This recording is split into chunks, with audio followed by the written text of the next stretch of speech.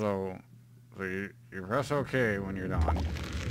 And now you're a PC, Mac.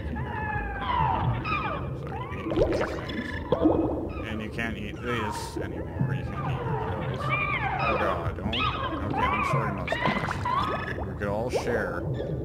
So right now I've grown. And there's a lot more things now.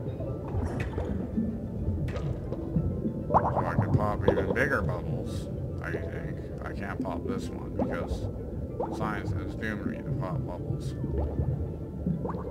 That are that big. But I could pop medium bubbles. And I'm trying to find um I finding? Something to eat. Because all there is is meat. I think this is the gay bar part of the stage. I'm glad this game supports homosexuality. Oh. No, no, no, no, no, no, no, no, please no. Please. You're biting my tail. Oh god.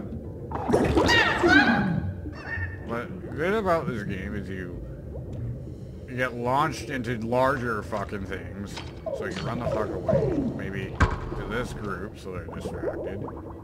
But no, you're like, oh now there's two things chasing after me. I do not like this whole like two on one thing. Give me that. Oh, that didn't save me.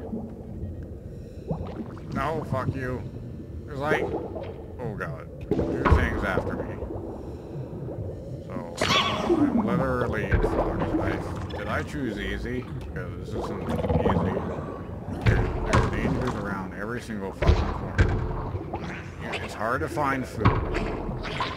Like, you think it'd be easier to just screw yourself, but. See, whatever the hell that was, that solid bubble killed me. And you get unlimited lives in this game, so if you're like five years old, you fuck up a lot, don't worry, you can respawn. And that's why they added respawning to Call of Duty. Three-year-olds could. Fuck off.